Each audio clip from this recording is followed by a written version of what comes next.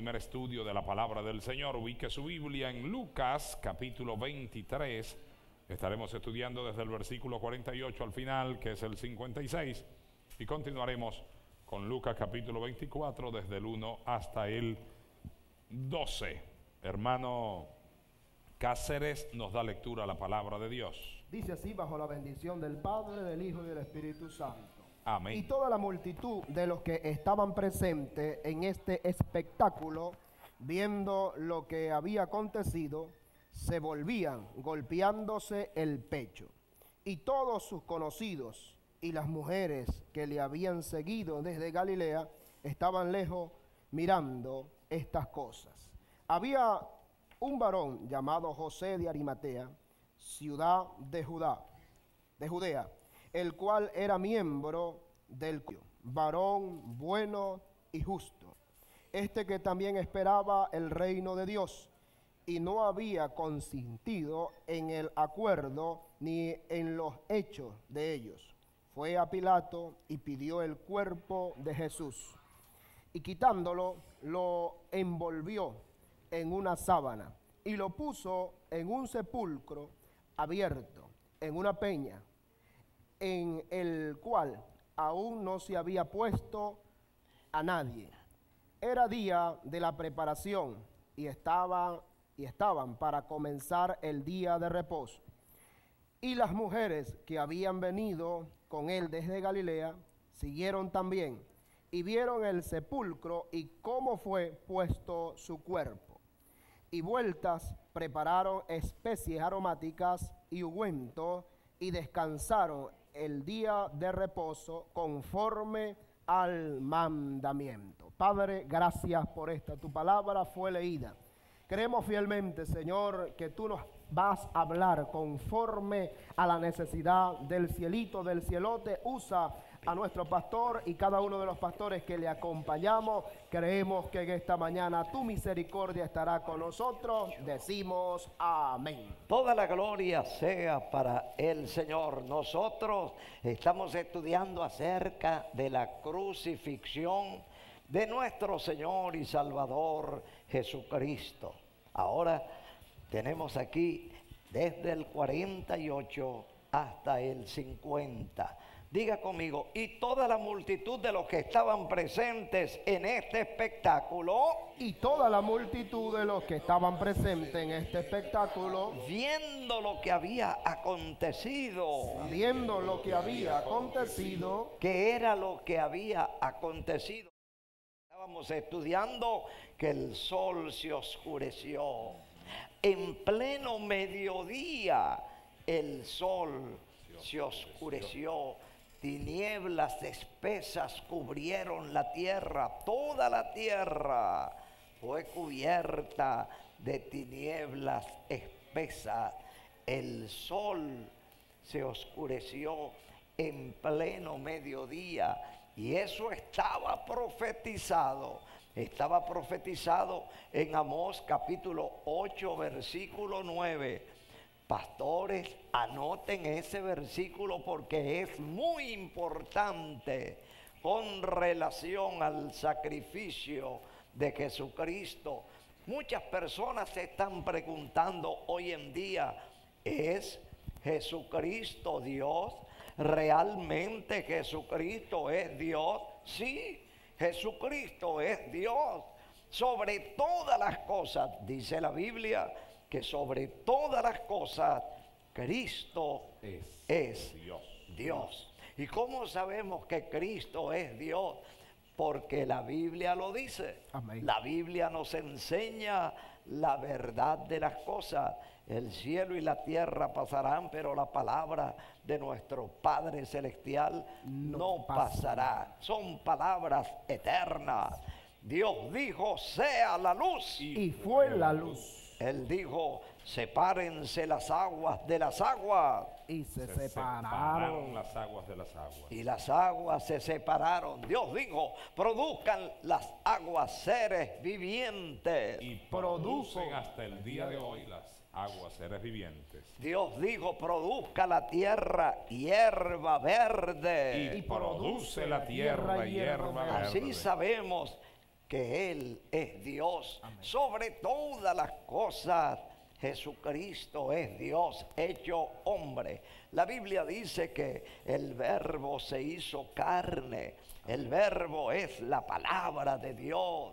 Viendo todas esas cosas que sucedieron, como el sol se oscureció, la gente en Israel no ignoraban los milagros de Jesús.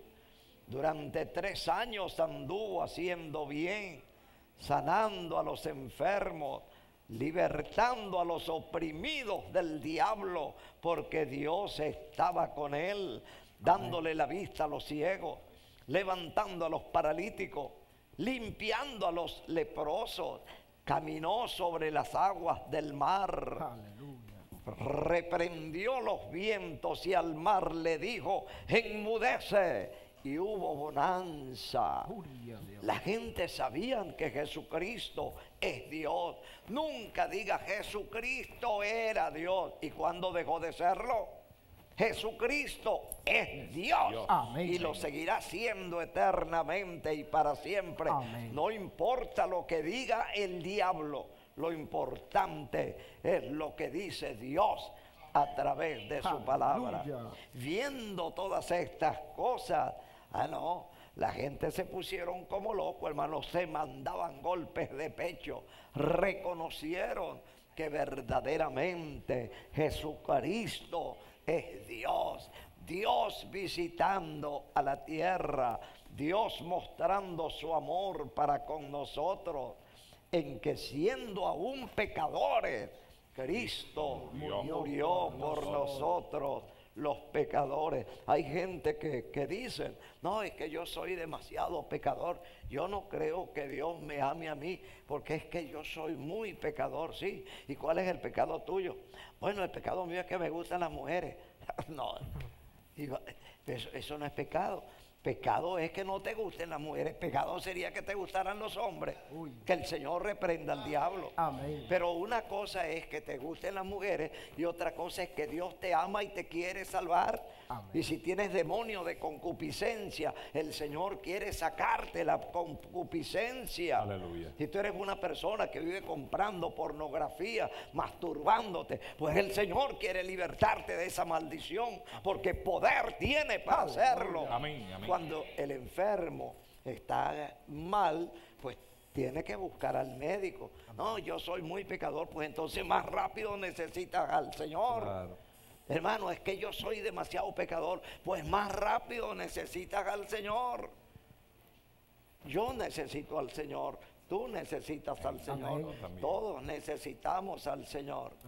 Pero el diablo es tan sucio, tan malo, que confunde a la gente. Habían visto tantos milagros, tantas maravillas de Dios con cinco panes y dos pescaditos, le dio de comer a una multitud que eran más de cinco mil hombres, sin contar las mujeres y los, niños. ¿Cuántas personas comieron? Se calcula que entre 15 a 20 mil personas comieron y sobraron 12 cestas llenas de pan.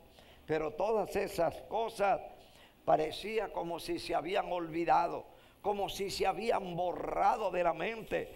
Cuando Pilato preguntó, ¿a quién queréis que os suelte? Todos dijeron, suéltanos a Barrabás. Ajá, ¿y dónde estaba Pedro que no lo defendió? ¿Por qué no vino con su machete a cortarle la cabeza a los malucos ingratos después de haber recibido tantos milagros del Señor? Ahora estaban pidiendo a un vagabundo, a un malhechor, a un malandro. Ellos pidieron a Barrabás, suéltanos a Barrabás. ¿Y qué hago con este? Crucifícalo, crucifícalo y rápido crucifícalo. Pero es que no encuentro nada malo en él. No encuentro nada. No importa, crucifíquelo y crucifíquelo. Ellos tenían el diablo metido por dentro, mis amados hermanos. Ah, pero Dios lo permitió. para que Jesucristo demostrara su amor por un pecador como yo, por un pecador como usted, por nosotros los pecadores. Cuando Jesucristo expiró en la cruz del Calvario, cuando Él dijo, Padre, en tus manos encomiendo mi espíritu. Y wow, su cabeza cayó aquí sobre el pecho bañado en sangre, coronado con espina. Inmediatamente el sol se oscureció, tinieblas cubrieron la tierra. Me imagino, amados hermanos, que en medio de esa oscuridad espesa la gente decía, nos lleva el diablo, porque qué otra cosa podían pensar nos lleva el diablo. Sí es el Hijo de Dios. El hombre nos equivocamos. Nos nosotros pedimos a Barrabás y este es el Hijo de Dios. Ahora sí nos dejó ciegos a todos. Pues, como no veían, a lo mejor pensaron que se quedaron ciegos. Verdaderamente es el Hijo de Dios. Verdaderamente. Perdónanos Dios. Perdona. ahora sí, ahora sí comprende. Qué lástima, mis amados hermanos, que tenga Dios que dejarte ciego, tenderte sobre una cama con un pie reventado, una pierna reventada, una tripa de goma. Tiene Dios que desbaratarnos para que podamos reconocer que Él es Dios, que Jesucristo es Dios, que Jesucristo es el Mesías, el Salvador del mundo. Dice la escritura, amados hermanos, toda la multitud de los que estaban presentes en este espectáculo, viendo lo que había acontecido. Yo estoy leyendo el versículo 48. ¿Qué pasó con toda la gente que estaba en ese gran espectáculo? viendo lo que había acontecido. ¿Qué pasó con esa gente? Se, volvían golpeándose el pecho. Se volvían golpeándose el, pecho. golpeándose el pecho. Y hasta el día de hoy en la iglesia católica el cura se golpea el pecho y el cura dice, por mi culpa, por mi culpa, por mi grandísima culpa. Sí, Señor, por tu culpa y por la mía también por tu culpa y por la mía también. No es solamente por tu culpa, es por la mía también. Es por la culpa de todos nosotros. Y una cosa quiero aclararle. A Jesucristo no lo mataron ni los clavos, ni las espinas, ni los salivazos, ni los desprecios, ni las burlas, ni el escarnio, ni las espinas que pusieron en su frente, ni los latigazos Jesucristo murió por mis pecados, por los pecados del mundo. Él dijo, nadie me quita mi vida, sino que yo de mí mismo la doy. Tengo poder para ponerla y tengo poder para volverla a tomar. Este mandamiento recibí de mi Padre. Oiga, Él vino aquí con una misión. Y la misión fue buscar y salvar lo que se había perdido. La misión fue dar su sangre por los pecados del mundo. Juan el Bautista, cuando vio al Señor que venía caminando sobre el desierto, él extendió el brazo. La multitud que estaba con él dejó de predicar y lo señaló y dijo, he allí el Cordero de Dios que quita los pecados del mundo. Ese es el Cordero de Dios que quita los pecados del mundo. ¿Y qué pasó con la gente que estaba con Juan? Dejaron a Juan solo y se fueron detrás del Cordero de Dios, porque Jesucristo es más importante que Juan, y más importante que Pedro, y más importante que todos los santos que han existido, que existen y que existirán. Amén. No fue Pedro quien murió en la cruz del Calvario. No fue María la que murió por mis pecados. No hay salvadora en la Biblia Solamente hay un Salvador. Y la Biblia dice que no hay otro nombre debajo del cielo dado a los hombres en quien podamos ser salvos. Solo Cristo salva Amén. y no hay más salvador. Solo Cristo salva. Y la gente pintan unos dramas, unos dramas tan, tan de la cabeza. Ay, hermano, pero bueno, si su mamá le pide a usted que le haga un favor, usted no se lo hace. Si está viva, le hago el favor. Pero si está muerta, ¿qué favor le puedo hacer? Ya María se murió. Destápese la mente. María se murió. María se murió hace dos mil años. Usted no puede estarle pidiendo a Pedro, eh, Pedro, haga- San, San Benito, San Antonio. No, no, no, no le pida a los muertos, no le pida a los muertos.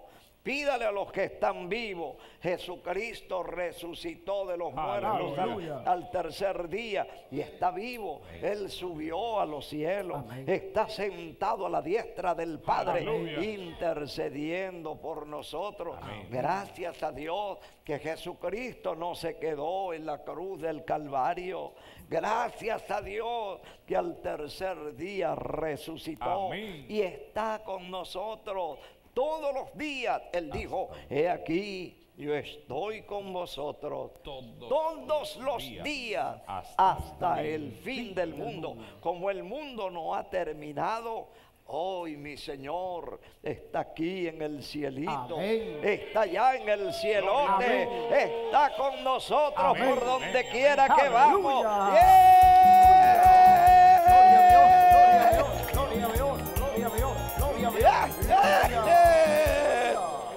Lamentablemente esta gente, amados hermanos, tuvieron que ver el sol oscurecerse. Nosotros no necesitamos ver el sol oscurecerse para reconocer que Jesucristo es Dios. Lo hemos reconocido en medio de nuestros pecados. Reconocimos a Jesucristo y hoy somos felices. Aleluya. Hoy caminamos con Él, no nos damos golpes de pecho, estamos agradecidos de Dios que Él se hizo hombre y vino a este mundo a morir por nosotros los pecadores. Ah, cuando vieron todo lo que había sucedido, entonces reconocieron que Jesucristo es el Hijo de Dios. ¿Y qué hacían con la mano? se golpeaban. Se daban golpes en el pecho y como decían, por mi culpa, por mi culpa, por mi grandísima, por mi grandísima culpa, por mi todas mis culpas. Pero todos sus conocidos, oiga, ahí estaban la gente que lo pidieron que lo crucificaran, pero todos sus conocidos, ¿qué pasó con sus conocidos? En el versículo 49. Y las mujeres que le habían seguido desde Galilea estaban, Estaban lejos, lejos mirando, mirando estas, estas cosas. estaban lejos. Todos los que le habían seguido, mis amados hermanos, estaban lejos Mirando. mirando estas cosas. A mí me da dolor de barriga cuando yo pienso, por ejemplo, en un pastor que le toque venir aquí y que no esté presente con nosotros y que no hay a quien repartirle los papelitos y no hay cómo anotar los nombres porque los pastores no han llegado y están llegando a las 10 de la mañana. ¿Usted cree que Dios ve eso con buenos ojos? No. no claro que no. Están mirando Desde desde lejos, mirando desde lejos. Ay, qué bonito se ve el matutino aquí en la televisión. Ay, yo lo veo en mi telefonito. Qué bonito, sí, pero tú tienes que estar aquí ayudándonos. Amén. Tóquete o no te toque, véngase para que nos ayude. Si vienen gentes de tan lejos, 11 horas viajando para llegar aquí. Mire, yo no sé qué haría yo si yo estuviera viviendo, por ejemplo, en Acarigua. Yo creo que yo me vendría todos los días a los matutinos. Aquí está el pastor Cáceres. Él estaba en su casa. Tenían problemas. Oían el matutino, pero no lo podían ver. Y él vino aquí al aposento. Y él me dijo, hermano, ¿sabe qué? Allí en Boconoito, donde yo soy pastor, a la gente le gustan mucho los matutinos. Así me alegro que le gusten mucho los matutinos. Pero tenemos un problema, hermano. Pues, ¿Y cuál es el problema, Pastor Cáceres? los matutinos no se ven, solamente se oyen y estamos cerquita de aquí. ¿Será que pueden ayudarnos? Claro que sí. Le vamos a poner, vamos a comprar otro panel y se lo vamos a poner de frente hacia Boconoito. Y pedimos, amados hermanos, dos paneles, tres paneles. Y le pusimos esos paneles hacia Boconoito. Ah, no, eso se veía clarito, clarito, clarito. Entonces se sentaba el Cáceres muy zángano, se sentaba a ver los matutinos. Y cuando gritamos aquí, él gritaba ya también. Todo el barrio oía los gritos del pastor zángano. Pero ¿sabe lo que pasó? La mujer se quedó mirándolo un día. ¿Cómo te dijo tu mujer, hermano, hermano Cáceres? Bueno, e-, es en tu cupido, hermano Puerta. Este, ella me dijo, ¿qué hace usted ahí echado? Usted fue allá y pidió este, que pusiesen los matutinos acá en Tucupido. Ahora usted está puro mirando ahí, sentado, a veces acostado. Váyase a los matutinos. Y yo le dije, ¿y qué voy a hacer yo allá en los matutinos? Yo no sé hablar muy bien. Entonces, algo el Señor lo pone a hacer allá en los matutinos. Y bueno, me vine a los matutinos. Y hay días que uno de repente amanece un poco así, telempado, este, Pesado. que- pesado, sí, eh, estresado. Entonces quiero quedarme en la casa. Ella me dice, ah, ah, levantarse, levantarse a los matutinos. Vaya a los matutinos. Gloria a Dios, gloria a Dios, gloria a Dios, gloria a Fíjate, hermanito, él le dijo a la esposa, ¿y qué voy a hacer yo en esos matutinos? Yo no sé hablar bien. Aquí lo tiene el Señor en el lugar de Henry. Nah. Henry que sí habla bien bonito, está de comisión acompañando a mi Edgar. Pero aquí está él, hermano, aquel que pensaba, yo no sé hablar bien, pero no eres tú el que vas a hablar, criatura. El Espíritu Santo es el que habla Señor. por nosotros. Amén. No tengas miedo de venir, pastor bautista. Pastor de la Betel, no tenga miedo de venir, que esto es de Dios. Amén. Y aquí Dios lo va a utilizar. Amén. Y usted va a abrir la boca y lo van a oír en toda la tierra. ¿Cómo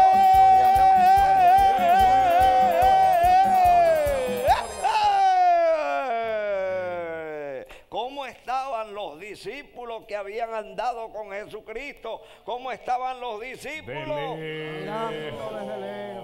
Mirando todas estas cosas desde lejos, desde lejos, Lejos. desde lejos. Que ningún pastor de aquí de, de Guanare, el día que le toque, que ningún pastor se quede, porque se va a meter en un problema con Dios. Se le va a oscurecer el sol. Ay. Se le va a oscurecer el sol.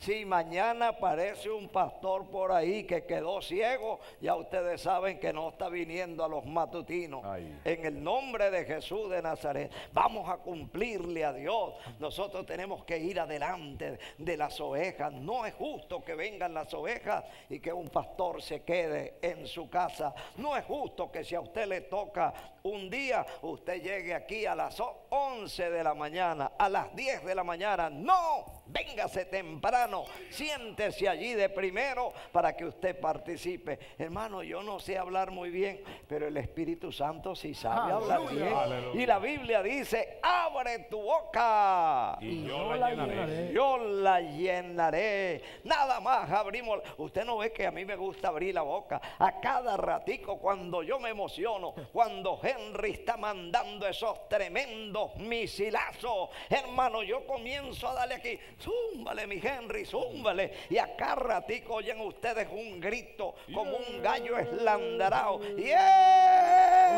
Dios, gloria a Dios, gloria a Dios, gloria a Y mientras más grito, más se me aclara la garganta. Versículo 49, diga conmigo, pero todos sus conocidos Pero, Pero todos todos sus sus conocidos. conocidos y las mujeres que le habían seguido desde Galilea. y las mujeres que le habían seguido desde Galilea ¿Qué pasó con esos seguidores? Estaban lejos. mirando estaban lejos, lejos. mirando Estas estas cosas. Y el último versículo que nos toca explicar es el 50. Diga conmigo, pero había un varón Pero había un varón llamado José de Arimatea, llamado José de Arimatea, ciudad de Judea, ciudad de Judea, el cual era miembro del el concilio. cual era miembro del concilio. Era un político, mis amados hermanos, era un político, un senador. Oiga, era miembro del concilio, diga conmigo, varón bueno varón bueno y justo. y justo. Dios da testimonio acerca de ese. Era un político. Hay gente que la tienen cogida con los políticos y la tienen cogida con los deportistas. Hermano, y llegan aquí a echarle plomo a los políticos y a los deportistas. Y Yo siempre les digo, no se metan con los políticos. Hay políticos que le sirven a Dios. Claro. Hay políticos que le sirven a Dios. No se meta con los políticos. Tampoco se meta con los deportistas. Métase con el diablo. Insulte al diablo y dígale de todo. Pero no me espante a los deportistas. Porque los deportistas necesitan al Señor. Amén. Aquí vino el domingo a la escuela dominical. Un negrito al- altísimo. Parece una jirafa de tan alto que es ese negrito. Mire, yo creo que yo ni brincando le alcanzo la tapa de la cabeza, ni brincando le alcanzo la tapa de la cabeza. A negrito bien alto. Yo me paré debajo de él y dije, chicos, casi que me acomplejo de tan alto que eres. ¿A ti te criaron con leche de jirafa o qué? Él me miró hacia abajo así y se puso a reír. Resulta que el negrito es cubano y enseña deporte y está entrenando a la número 5 para que seamos campeones. ¡Yeah! Gloria a Dios, gloria a Dios, gloria a Dios, gloria ¡Eh! Alexander, si nos ponemos en- a insultar a los, a los deportistas, entonces no van a venir aquí a entregarse al Señor. No, hermano Puerta. ¿Usted cree que debemos nosotros ponernos aquí a insultar a los curas?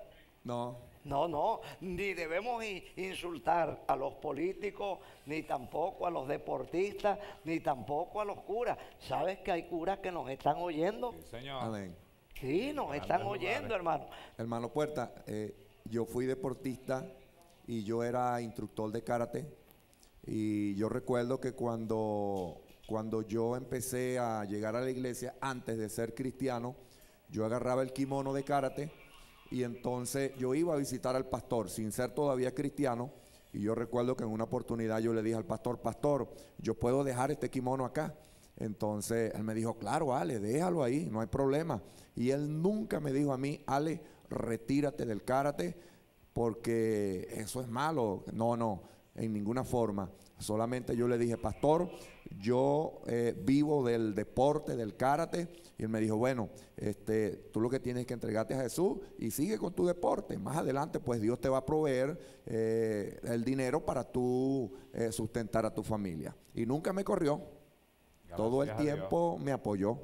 La gloria sea para el Señor. Ese es un pastor inteligente.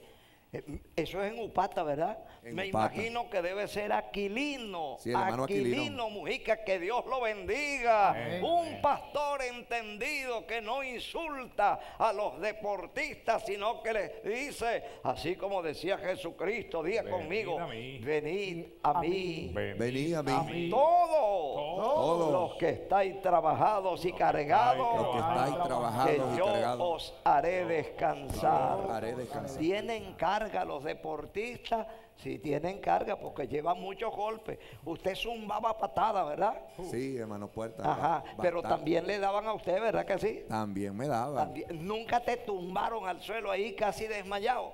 Bueno, una vez me metieron un golpe duro en la mandíbula, se me fue la luz, no veía nada, veía cucullito. Sin embargo, me quedé parado ahí porque había entrenado bastante y entonces cuando empezó a venirme la luz que venía el oponente con una patada, se la quité y le metí un golpe en el estómago que lo tumbé y entonces los profesores me decían, te felicito Ale, porque estás bien, estás bien parado. Hermano Puerta, se me había ido la luz completamente, no veía a nadie. Y el, el oponente, pues, él tuvo el error de no, de no rematarme Y entonces cuando me venía la luz nuevamente, que lo veo, veo la silueta que viene con esa patada, le quito la patada y le meto la mano en la boca y el estómago y ese hombre cayó de rollito y, y yo gané la pelea.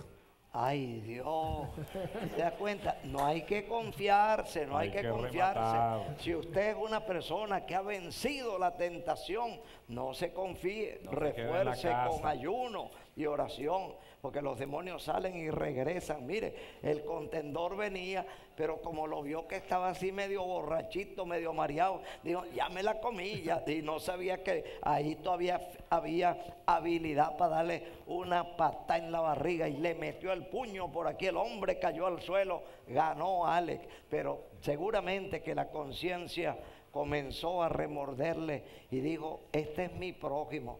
Y en lugar de estarle predicando, lo que estoy es mandándole esos grandes matracazos. No, yo, yo ahora, en lugar de andar repartiendo patadas y voladoras, ahora voy a repartir versículos de la Biblia. Hermano, mientras que habían una gente que se, que se espantaron y que miraban el espectáculo desde lejos para no complicarse la vida. Había un político valiente llamado José De de Arimatea. Y ese hombre, amados hermanos, Dios está dando testimonio acerca de ese político. Dice la Biblia que era varón bueno y justo. Era un varón bueno. ¿A quién se llama bueno? Una persona que hace el bien, una persona que le sirve al prójimo, una persona que ayuda desinteresadamente, una persona que ha entendido las palabras de Jesucristo, que es mejor dar que recibir. Una persona buena es una persona que le extiende la mano al caído. Una persona buena es aquel que se compadece de su prójimo. Una persona buena no critica a la jovencita que llega con los vestidos por aquí porque todavía no se ha entregado al Señor. No la manda para afuera. Una persona buena no anda buscando defectos para criticar. Una persona buena anda buscando a quién ayudar, Aleluya. a quién servir. Amén. Y Dios quiere que nosotros, amados hermanos, nos conduzcamos así como José de Arimatea. Oiga bien, que no nos llamemos buenos a nosotros mismos porque damos un pedazo de pan o la comida que sobró, sino que Él nos vea como personas obedientes, con amor de Dios, haciendo el bien, sirviendo al prójimo, que Él dé testimonio acerca de nosotros, porque no es aprobado el que se alaba a sí mismo, sino aquel A quien a Dios quien Dios alaba. alaba. Era un varón, aunque era político, oiga bien, tenía su trabajo, tenía esto, miembro del concilio, es una persona que representa a la ciudadanía, pero la Biblia dice que era varón bueno Y justo. Justo significa que a cada uno le daba la razón si la tenía y si no la tenía, le decía, amigo, usted cogió un camino equivocado, usted va por mal camino, arrepiéntase, devuélvase, esta es la senda correcta. Qué bueno cuando el Señor nos califica, mis amados hermanos, como aprobados. Amén. Amén, amén. Y qué bueno que no se llamaba él a sí mismo justo y se llamaba bueno, sino que Dios le está dando ese título. Han pasado dos mil años y aquí tenemos a un político temeroso de Dios, a un político que amaba al pueblo, a un político sincero. Anoche estaba hablando nuestro presidente y se enojó muchísimo. Parece que hay unas aves de rapiña por ahí alrededor de él que tienen las uñas más largas que unos galápagos. Y él dijo, necesito que me den una... ¿Cómo se llama eso cuando le... Poder Acércalo. Poder habilitante. Poder un poder habilitante. Necesito que me metan la mano con el poder habilitante para echarle mano a los vagabundos, para echarle mano a los ladrones. Necesito poder habilitante. Tengo todas las pruebas en mi mano, pero deme el poder. Mire, yo le doy el poder habilitante. Presidente, agarre todo el poder habilitante que, que quiera, porque es injusto que Claro. los ladrones se lleven los dólares y que no haya cómo ayudar a un misionero que está pasando trabajo allá en el Paraguay, que tengamos que andar haciendo maniobra y acrobacia para mandarle 200 dólares, 300 dólares, 500 dólares. Va a parir la mujer, hay que ayudarlo y no sabemos cómo meterle la mano. Y cuando hemos ido ante las autoridades que manejan los dólares, nos han dicho, no, para misioneros no hay dinero. Ah, pero sí hay para los ladrones. Oramos a Dios y le dijimos, diablo, suelta el botín en el nombre de Jesús. Y ahora Dios le destapó la mente a nuestro presidente y esos vagabundos les van a echar mano. Y ahora sí va a haber dinero Amén. para que los misioneros no sufran en el campo Amén. internacional. Es injusto que haya dinero para un ladrón y que no haya dinero para una persona que está haciendo la obra de Dios. Amén, amén. No queremos dólares para guardar en el banco, no los necesitamos. Pero ese misionero que está en el campo de batalla, predicando el Evangelio, enseñando a los maridos a amar a sus mujeres y enseñando a las mujeres a respetar a sus maridos. Esos hombres que lo han dejado todo para ir al campo internacional a servirle a Dios. Es justo que se reconozca su trabajo. Que Dios bendiga al presidente. Que Dios bendiga a las autoridades. Acaban de darnos, amados hermanos, una buena noticia. Y es que los pastores que tengan 50 y 65 años trabajando en el ministerio que ya cumplieron esa edad van a recibir jubilación. ¡Eh!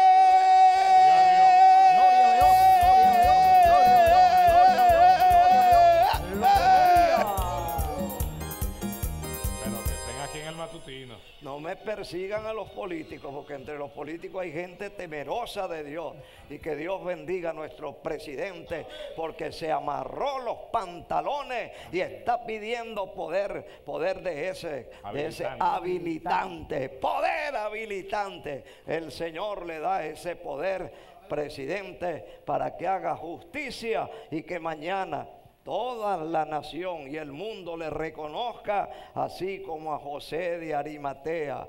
Un hombre bueno, un hombre justo, que el Señor le bendiga. Y él se puso de ejemplo, él dijo, a mí que me registren, no tengo rabo de paja, a mí que me registren, no, no me he robado nada, me pueden registrar como quiera. Qué bueno es tener moral, qué bueno es poder dar la cara y decir, a mí que me registren. Amén. Amén. Estoy seguro que este José de Arimatea no levantó su dedo, no levantó la voz para decir crucifíquenlo, crucifíquenlo. Era un hombre temeroso de Dios, aunque era político, pero respetaba a Dios. ¿Estás de acuerdo, Amén. cielito, Amén. que debemos orar por nuestros gobernantes? Amén.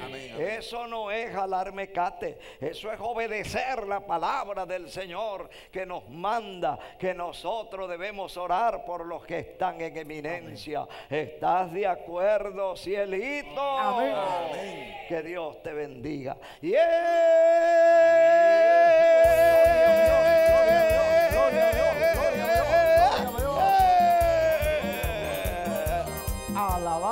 el nombre de el Señor. Buena la palabra que el Señor nos está regalando en esta preciosa mañana. Hemos oído en labios de nuestro pastor lo que hizo José de Arimatea. Este hombre justo, bueno, que marcó una historia, una pauta acá en la Biblia. Y qué bueno es que hoy se levanten nuevos José de Arimatea, se levanten mujeres que también marquen la historia eh, presente para un futuro. Somos nosotros los que debemos marcar la historia de nuestro porvenir. Somos nosotros los que debemos marcar la historia. Dice la Biblia, este que también esperaba el reino de Dios, que no había consistido en el acuerdo ni en los hechos de ello. Un hombre que se apartó del complot. Eh, las autoridades, los representantes decidieron darle fin literalmente al Señor Jesucristo, matar, crucificarle, pero un hombre que marcó una historia importante. Y es aquí donde hay una gran enseñanza, porque nosotros no podemos consistir, nosotros no podemos dar vista buena a las cosas malas. Nosotros somos de los que debemos decirle a lo bueno bueno y a lo malo malo. Nosotros no tenemos consentimiento con el pecado. Y esto fue lo que hizo este hombre, dice, este que también esperaba el reino de Dios y no había consentido en el acuerdo ni en los hechos de ellos. No tuvo consentimiento, no entró en este complot, no entró eh, en estos hechos que habían hecho en la vida de nuestro Señor Jesucristo. Es que nosotros debemos hacer separación del pecado. Nosotros debemos practicar la justicia. Nosotros debemos marcar la historia. Qué triste y qué lamentable ver personas que se involucran con lo malo, que hacen consentimiento con el pecado. Este hombre marcó su pauta, marcó la diferencia, aunque estaba eh, dentro del concilio de aquellas personas que pusieron eh, fin, que dijeron crucifíquele, este hombre dijo, yo no comparto esta idea. Yo no me hago parte de esta inmoralidad. Yo no me hago parte de esta injusticia. Ayer fue José de Arimatea, hoy nos corresponde a nosotros apartarnos de toda clase de pecado, apartarnos de toda clase de injusticia. Dice el versículo 52, fue a Pilato y pidió el cuerpo de Jesús y quitándolo, lo envolvió en una sábana y lo puso, eh, dice, lo puso en, en un sepulcro abierto, en una peña en el cual aún no se había puesto a nadie. Dije que hay que, nosotros debemos hacer eh, la historia. Nosotros debemos marcar la historia de nuestro presente y nuestro futuro. Aquí hay una enseñanza. Jesucristo murió, fue crucificado, fue colgado en el madero, eh, resucitó al tercer día y hoy está con nosotros acá. Ahora, acá nos representa a nosotros este Jesús eh, que fue crucificado, nos representa a nuestro prójimo también. Y qué lindo es que este hombre marcó la diferencia. Qué lindo que este hombre fue un hombre que entendió la visión. Dice que fue a Pilato y pidió el cuerpo de Jesús, Jesucristo, literalmente crucificado conforme a las profecías mesiánicas. Ahora este hombre toma la iniciativa de ir y pedir el cuerpo de el Señor Jesús y dice, quitándolo lo envolvió. Hoy literalmente no tenemos al Señor Jesucristo crucificado en un madero, pero tenemos a nuestro prójimo que podemos ir y ayudarlo, auxiliarlo. Dice que este hombre quitándolo lo envolvió en una sábana. ¿Cuántas personas hay hoy en día que están pasando frío? ¿Cuántas personas hay hoy en día que están pasando necesidad y que necesitan de un José de Arimatea que vaya como una mano ayuda y le diga, yo estoy contigo, aquí está mi ayuda, aquí está eh, mi mano para decirte, no pases más necesidad, yo estoy contigo. Dice que este José de Arimatea dice que lo envolvió en una sábana y lo puso en un sepulcro abierto, en una peña en el cual aún no se había puesto a nadie. Ahora, ¿Cuál es la enseñanza? Que este hombre marcó la diferencia.